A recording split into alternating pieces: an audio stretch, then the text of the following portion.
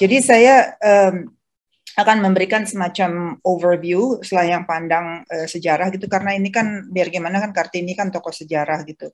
Ini uh, judul keynote speech saya antara ritualisme Hari Kartini dan feminisme cyborg. Hari Kartini itu sering dirayakan uh, secara ritualistik ya, gitu kita menyanyikan lagu Indonesia apa Ibu kita Kartini, dari WR Supratman, pemakaian kebaya, dan uh, juga kadang-kadang bahkan ada objektifikasi gitu kalau yang pakai kebayanya perempuan cantik gitu. Jadi kita tentunya hari ini tidak terjebak oleh ritualisme ini. Nah, ini saya juga mau merujuk pada Bung Karno ya yang dia bilang jangan sekali-sekali kita melupakan sejarah. Jadi kalau kita ingat Kartini, kita juga harus ingat dari mana ia muncul dan sejarah Indonesia pada umumnya. Saya tidak akan masuk ke dalam kontroversi uh, Kartini yang um, dilahirkan tahun 1879 dan meninggal tahun 1904 pada usia yang sangat muda umur 24 tahun. Um, karena ada kontroversi bahwa ada yang mempertanyakan apakah dia layak nggak sih dijadikan pahlawan nasional.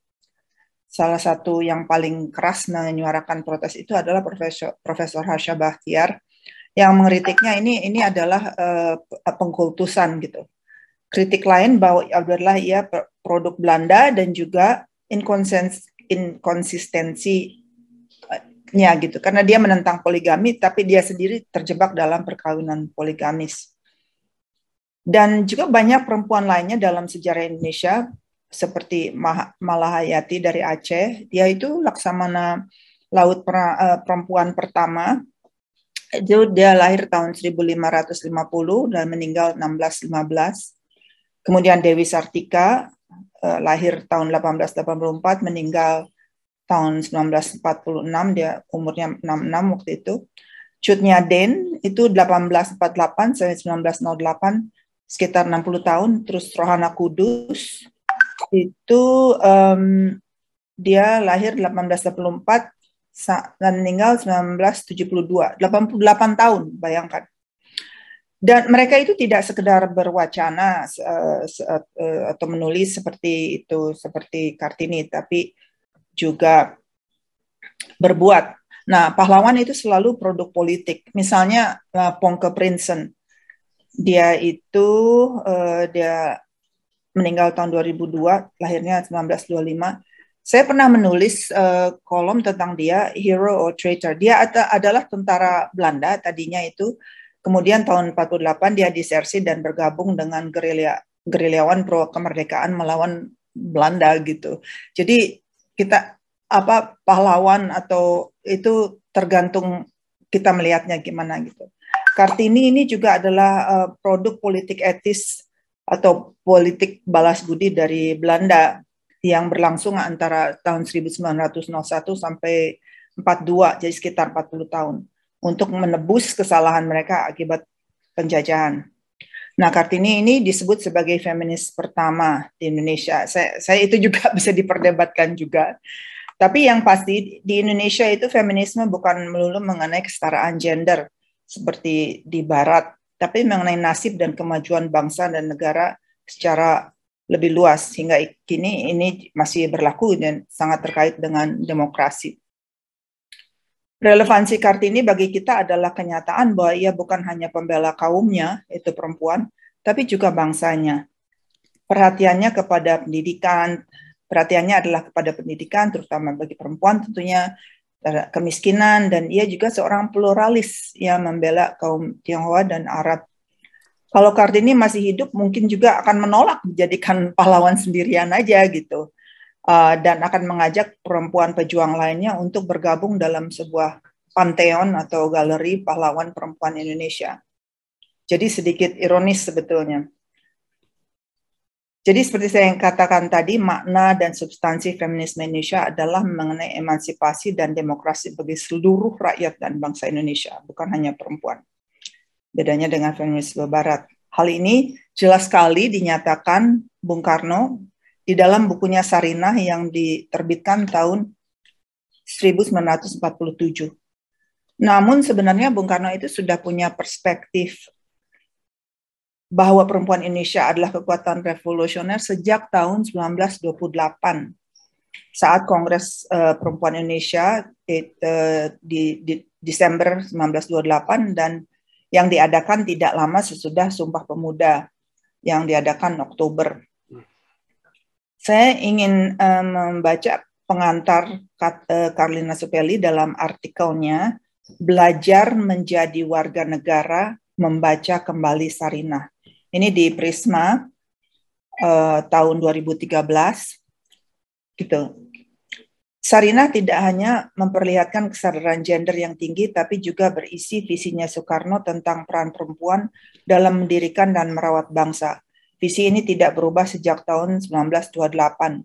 Soekarno menempatkan perjuangan hak-hak perempuan di bawah perjuangan kemerdekaan dan sosialisme di dalam buku sarirahnya itu uh, Bung Karno mengatakan bahwa perempuan dan laki-laki itu seperti sayap burung. Burung mana bisa terbang kalau sayapnya hanya satu atau yang bahkan sayapnya itu satu lemah gitu.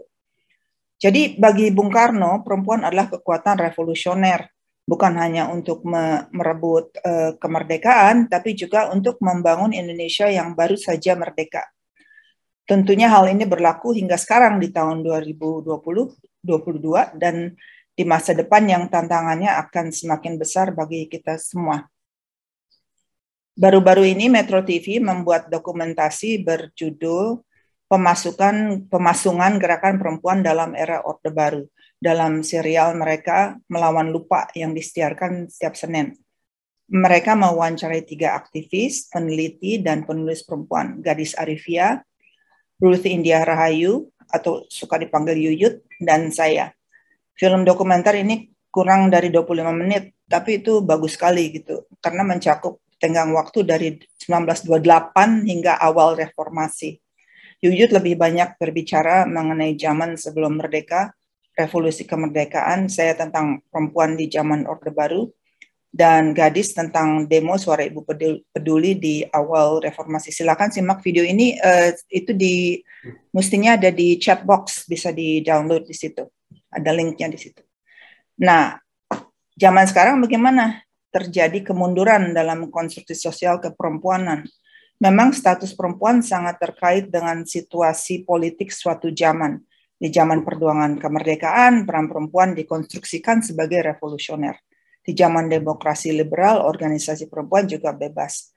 Dua organisasi yang sangat progresif adalah Perwari dan Gerwani. Selain memper, selain kesetaraan gender, mereka memperjuangkan pendidikan, anti perkawinan anak, anti poligami, dan keterlibatan perempuan dalam politik. Nah, pada periode Orde Baru terjadi pemasungan terhadap gerakan perempuan dan juga kepada kebebasan politik di Indonesia. Jadi sangat terkait sekali gitu bagaimana keadaan uh, gerakan perempuan itu dengan perpolitikan pada umumnya. Sebenarnya waktu uh, era reformasi itu ceritanya itu merupakan satu kesempatan untuk menjadi lebih, lebih demokratis. Tapi apa yang terjadi adalah bahwa desentralisasi membuka kotak Pandora dan membuka kembali jalan bagi kelompok Islam reaksioner yang selama ini ditekan di masa Orde Baru cara-cara pengontrolan ibu negara tetap dipakai di uh, zaman sekarang ini, namun menggunakan Islam sebagai alasan itu, sebagai justifikasi. Sekarang ini reformasi sudah berjalan 24 tahun, tapi kita tidak semakin demokratis, malah mengalami kemunduran. Indonesia termasuk flawed democracy, jadi bukan full democracy sudah banyak sekali tulisan analisis diskusi mengenai kemunduran ini termasuk di LP3S. Malah judul buku yang diterbitkan LP3S untuk ulang tahun ke-50 tahunnya adalah Demokrasi Tanpa Demos atau Tanpa Rakyat. Uh, jadi berarti bukan demokrasi dong. Ini editornya uh, dia, ada, adalah Wija gitu. Um, itu pekerjaan luar biasa. Seribu halaman, ya Allah. Beratnya juga ampun. Um, kemudian ini baru baru ini saya mendapat itu uh, tulisan dari uh, Melbourne itu judulnya oligark. Ini saya terjemahkannya judulnya aslinya dalam bahasa Inggris. Oligarki Indonesia membela kekayaan mereka dengan mengorbankan demokrasi. Jadi negara Indonesia, pemerintah Indonesia itu sudah dikuasai oleh oligark gitu. Lagi-lagi ada kesejajaran antara status dan peran perempuan dengan masyarakat pada umumnya. Ranking gender inequality Indonesia itu 85 dari 149 negara. Ini kayaknya nanti di itunya Titi ada gitu. Mungkin angka saya tidak akurat, eh, tolong dikoreksi. Bahkan menurut eh, Menteri PPP eh, Pemberdayaan Perempuan 100 dari 156 ranknya itu ketimbangan tertinggi di ASEAN uh, dan Democracy Index di Indonesia itu 52 dari 167. Ini barangkali Wija nanti bisa komentar soal itu Democracy Index itu.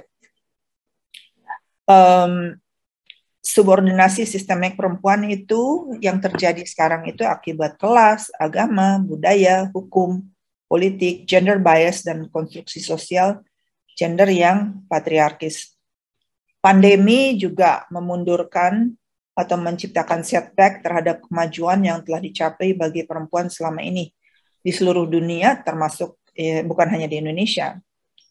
Juga maraknya politik identitas, dominasi oligarki tadi yang saya eh, ceritakan, krisis iklim dan mungkin juga dampak perang di Ukraina akibat inflasi dan kelangkaan pangan. Ini baru-baru barusan hari ini tadi saya lihat bahwa itu perang di Ukraina sudah mempengaruhi stok Indomie gitu karena karena itu Ukraina itu eh, penghasil gandum yang terbesar. Tapi eh. Kekerasan terhadap perempuan juga makin marak belakangan ini beberapa eh, beberapa tahun ini. Jelas ini menghambat demokrasi tapi tidak ditanggapi secara serius oleh negara 10 tahun itu diperdebatkan eh, RUU TPKS dan uh, pengesahannya itu alat alot sekali sekitar ya 10 tahun. Tapi ada juga hal-hal positif yang terjadi selama masa reformasi. Dari aspek kesejarahan kelompok perempuan memiliki resiliensi yang kuat digempur habis-habisan melalui penghancuran organisasi perempuan haluan kiri itu uh, apa karena apa um, secara spesifik Gerwani ya. Uh, terus proses ideologisasi ibuisme negara selama tiga dekade mereka tidak sepenuhnya tertaklukkan atau hancur. Hal ini disebabkan upaya konvergensi sekitar kelompok feminis mereka saling belajar dan cukup rendah hati mengakui perjuangan intelektual dan aksi dari berbagai sektor. Kemudian ada yang unik di Indonesia itu jaringan ulama perempuan seperti KUPI Kongres Ulama Perempuan Indonesia itu satu-satunya di dunia kalau uh, tidak salah. Dan jaringan berbaris interfaith seperti ICRP Indonesian Conference on Religion and Peace gitu. Terus kemudian ada kampus agama Islam yang sangat progresif melakukan kajian-kajian agama dan gender yang mempertemukan tradisi atau bacaan dan metodologi di pesantren dan tradisi akademik. Kemudian ada laki-laki sekuler maupun muslim yang peduli dan bersih bersih tekun mengkaji, mengkaji isu gender.